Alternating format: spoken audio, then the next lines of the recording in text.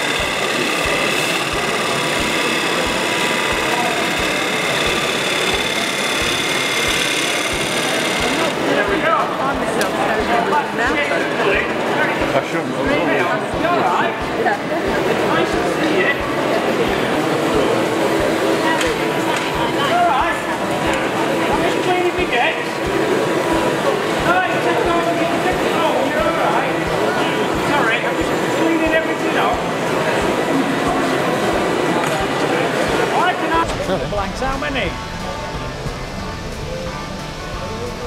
Right. There's a pattern. Yeah.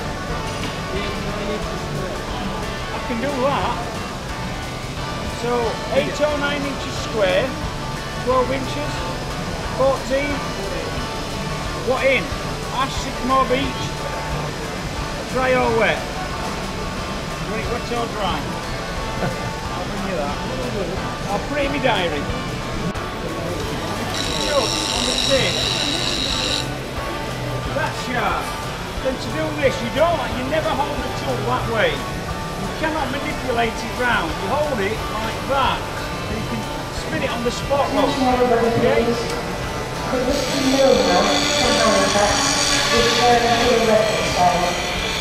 For a bird's beacon, it's usually a third.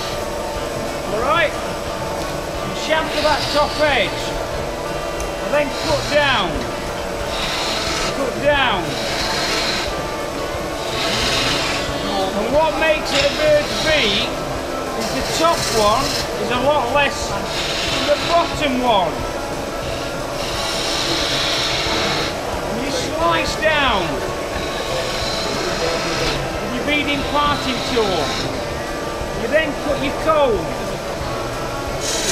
Right in the middle there. Again, you start in the middle with the cone. You work downhill. You widen it. You deepen it as you cut look.